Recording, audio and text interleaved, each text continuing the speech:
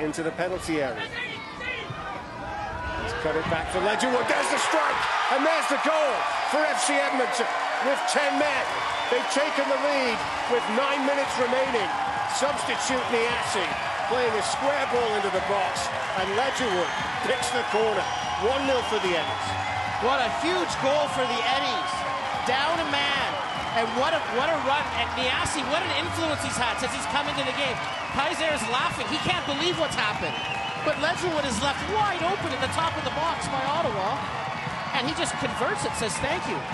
Thank you so much for this chance. Here we see Nyassi. And Rosenbloom's just giving him way too much room. You can't give Nyassi that kind of room.